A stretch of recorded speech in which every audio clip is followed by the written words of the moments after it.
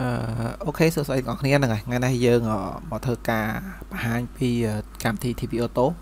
អឺវីដេអូមុនខ្ញុំបានប្រាប់អ្នកទាំងអស់គ្នារួចហើយតាក់ទងទៅនឹងរបៀបនៃការជីក skill អ្នកទាំងអស់គ្នាដឹងហើយ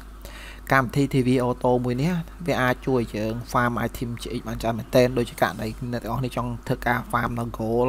អ្នកទាំងអស់គ្នាចង់ដាក់នៅ auto chamber អ្នកទាំងអស់គ្នាចង់ប្រើ auto ber អ្នកទាំងអស់គ្នាចង់ប្រើ auto change set និយាយទៅវាមាន function ច្រើននៅក្នុងនេះដែលយើង ត្រូវការប្រើវាប៉ុន្តែជាក់ស្ដែងអឺខ្ញុំក៏មិនចេះប្រើអត់ដែរនិយាយទៅព្រោះសារ function វាច្រើនដែរអានេះវាចង់10 function អានេះចង់10 function ទៀតនិយាយទៅណាហ្នឹងហើយតាមធម្មតាបើសិនជាករណីអ្នកទាំងអស់គ្នាប្រើកម្មវិធីដែលអត់បានទិញគេទេអញ្ចឹងមានកន្លែងមួយចំនួនគឺយើងអាចចុចប្រើប្រាស់វាបានទេអឺការវីដេអូប្រហែលជាមួយឆ្នាំមុនខ្ញុំបានបង្ហាញពីរបៀបនៃការជីក item ណា living skill នេះ ហើយជាប្រភេទពួក item ហ្នឹងយើងត្រូវការជីកវាដើម្បីយើង make item លក់ណាហ្នឹងហើយ make item លក់ហើយតាមធម្មតាវាសម្បូរ hero auto ដល់ពេលបង្កើតកោត្បូងថ្មីថ្មីព្រាមព្រាមនេះប្រភេទ hero auto ដែលគេដាក់ auto ដើម្បីជីក living skill ហ្នឹងហើយអ្នកខ្លះណាក៏សួរថាហេតុអីក៏ hero living skill គេដើរពេញ map ចឹងអាហ្នឹងអត់អីពិបាកឯងឲ្យតែយើងមានកម្មវិធី TP auto ដែល full function នេះហ្នឹងហើយហើយតាមធម្មតាបើសិនជាករណីអ្នកទាំងអស់គ្នា ប្រើកម្មវិធី TV Auto ដែល full function គឺយើងត្រូវការទិញណាយើងត្រូវការទិញចឹងបើសិនជាករណីយើងទិញបើចាញ់ចឹងបិច error ហើយអូខេបើសិនជាករណីយើងទិញអឺដូចខ្ញុំប្រាប់ចឹងគឺយើងត្រូវការទិញតាម function របស់វាអញ្ចឹងមក function មក function ដូចជាខ្ទង់នេះដូចជាខ្ទង់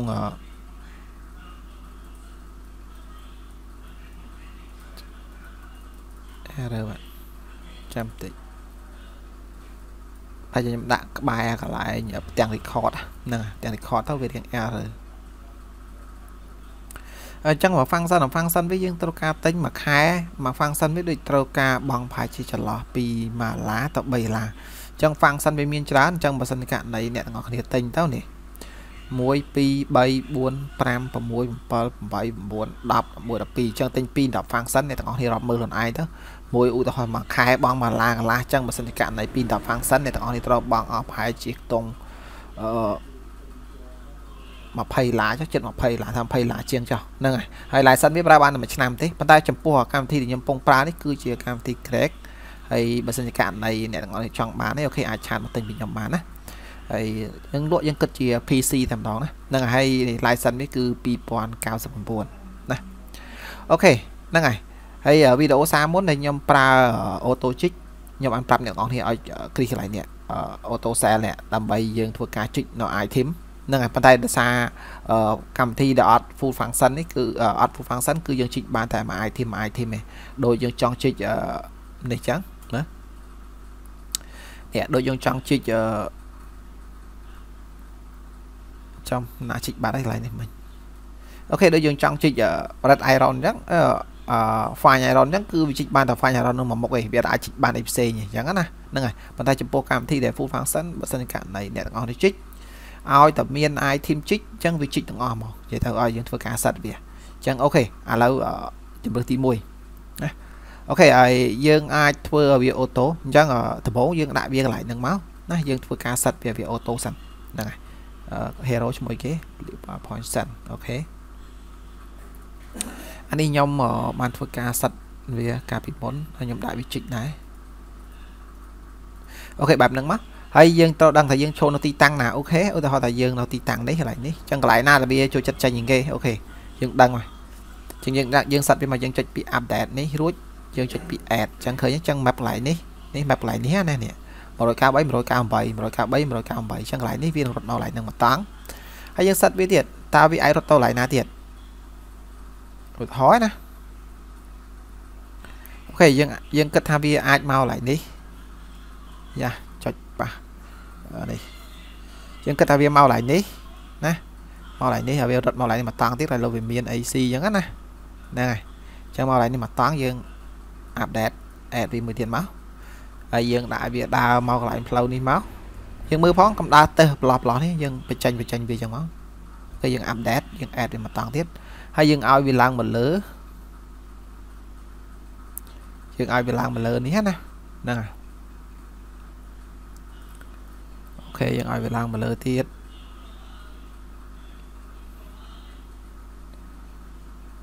អូខេអញ្ចឹងឲ្យវាឡើងមកលើដល់ត្រឹមនេះណាដល់ត្រឹមកន្លែងនេះយើងអែតវាមកតង់ទៀតមកហើយយើងកាច់វាមកនេះទៀត និយាយទៅយើងត្រូវដឹងថាកន្លែងណាដែលដែល item វាឧស្សាហ៍ធ្លាក់ជាងគេនឹងឲ្យវាដើរកន្លែងអញ្ចឹងអញ្ចឹងមកហ្នឹងហើយអែតមកហើយយើងឲ្យវាមកត្រង់នេះទៀត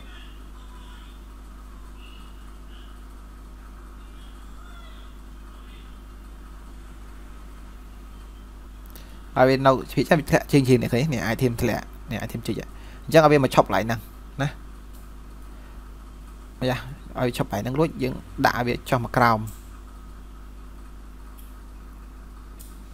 កុំដើរទៅកណ្ដាលទៅកណ្ដាលមេវៃងាប់ហ្នឹងហើយមេវៃងាប់អូខេយើងអាចឲ្យវាឈប់កន្លែងនេះមួយកន្លែងទៀតមកណាអញ្ចឹងយើងអាប់ដេតយើងអេតវាទៀតអូខេហើយយើងឲ្យវាមកចេះទៀតមកស៊ីសងលើយើងហើយយើងសិតវាប្រហែលតង់អាហ្នឹងវាដើរទៅតាមកន្លែងដែលយើងសិតហ្នឹងហើយអញ្ចឹងដាក់វាកន្លែងហ្នឹងមួយទៀតមកអូខេអានេះដោយសារគេជីកអស់ហើយណាបើគេអត់ជីកអស់មាន NBC សម្រាប់ជីកហើយ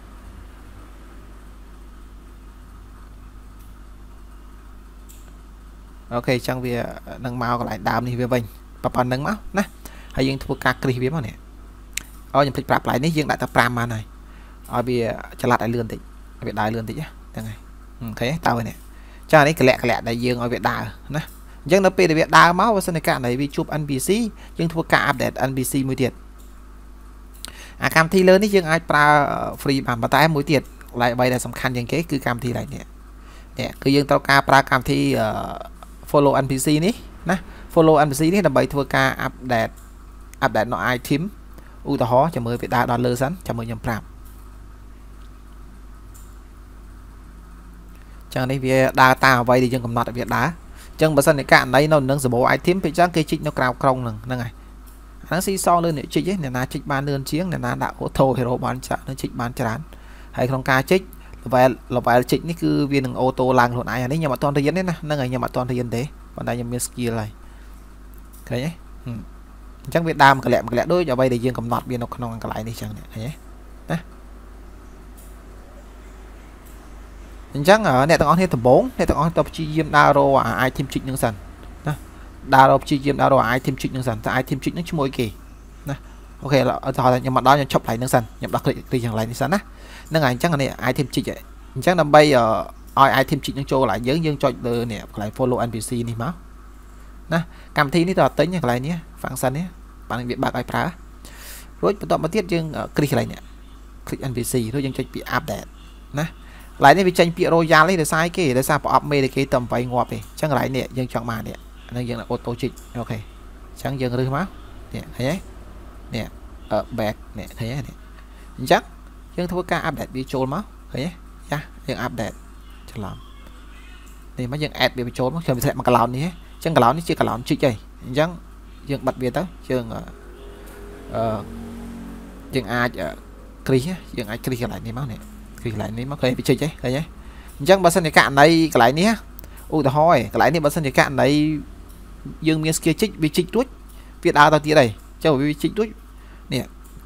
ជីករួចវានឹងដើរទៅទៀតដើរតាមអា3កន្លែងយើងកំណត់វាហ្នឹងហើយជីករួចវាដើរទៅទៀតកន្លែងនេះដោយសារខ្ញុំដោះគ្រីដោយសារបើខ្ញុំអត់ដោះគ្រីវាគួយចុចកន្លែងហ្នឹងចុចតបានហ្នឹងប៉ុន្តែនេះដោយសារយើងអត់មាន skill ណាយើងអត់មាន skill ណាមួយខ្ញុំគ្រាន់តែជាការឧទាហរណ៍អ្នកទាំងអស់គ្នាមើលអញ្ចឹងណាហ្នឹងហើយអាហ្នឹងវាដើរអញ្ចឹងឃើញទេហើយវាដើររហូតហើយកន្លែងគ្រីសនេះ នៅពេលដែលយើង follow វានេះ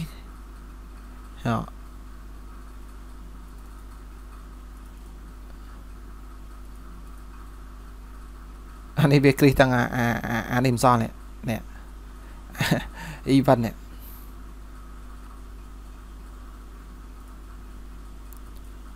តែពិតយើងយើងរើសតែ2តាអូនេះនេះនេះសិតបៃណែមអ្នកច្រឡំសិតបៃណែមយើងរើសកន្លែងសិតបៃណែមมันវាអត់រើសអត់រើសពណ៌ហ្នឹងអញ្ចឹងវាអូតូទៅអញ្ចឹងហ្មងមើលចាំមើលបន្ទាប់មកទៀតមើលវាដើរដល់កន្លែងហ្នឹងហើយចាំមើលឡើងទៅដល់លើវិញនេះអា item វាជីកអានេះដែលយើងបានកំណត់វា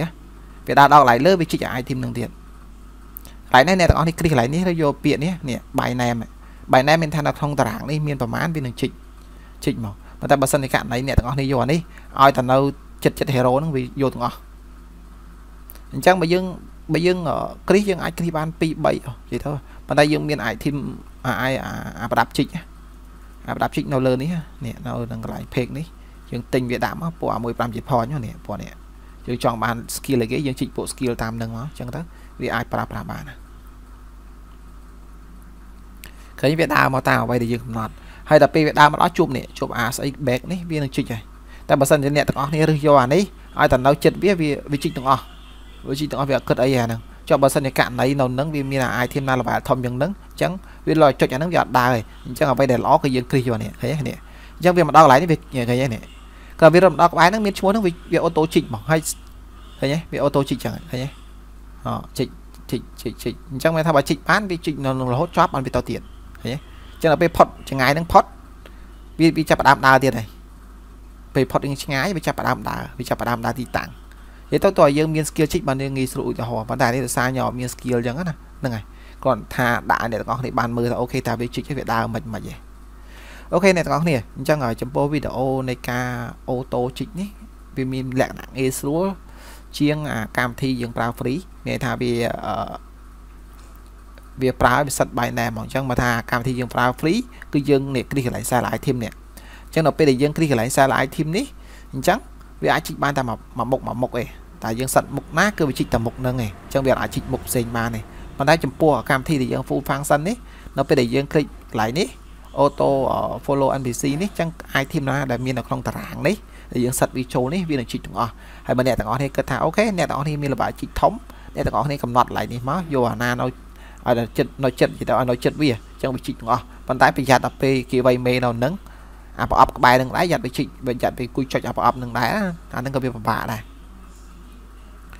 អូខេអញ្ចឹងចំពោះកម្មវិធីនេះដូចខ្ញុំប្រាប់អ្នកទាំងអស់គ្នាអញ្ចឹងគឺមាន2លក្ខខណ្ឌទី1គឺយើងអាចទិញ license ពីគេណាយកមកប្រើប្រាស់ទី2គឺយើងអាចទិញ crack យកមកប្រើប្រាស់ហើយចំពោះអ្នកដែលចង់បាន crack license ដែលមានលោតដល់2099អ្នកទាំងអស់គ្នាអាចធ្វើការឆាតមកក្នុង page បានណាហ្នឹងហើយ អូខេហើយកម្មវិធីមួយនេះគឺយើងអាចប្រើ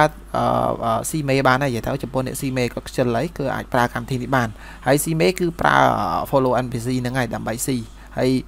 កម្មវិធីយើងប្រើ follow NPC នេះដល់ពេលដែលយើងងាប់វាចូលក្នុងក្រុងក៏វាអត់លក់ item ដែរហ្នឹងហើយប៉ុន្តែបើសិនជាករណីអ្នកទាំងអស់ប្រើកម្មវិធី free អ្នកទាំងអស់ប្រើនេះកន្លែង function ឡើងនេះអញ្ចឹងដល់ពេលអ្នកទាំងអស់គ្នា hero យើងងាប់យើងចុចចូលក្នុងក្រុងគឺវាលក់ item យើងចោលទាំងអស់ក្នុងក្នុង NPC អញ្ចឹងអា full function វាងាយស្រួលប្រើជាងនិយាយទៅ OK អញ្ចឹងបើចាប់អារម្មណ៍ជាមួយនឹង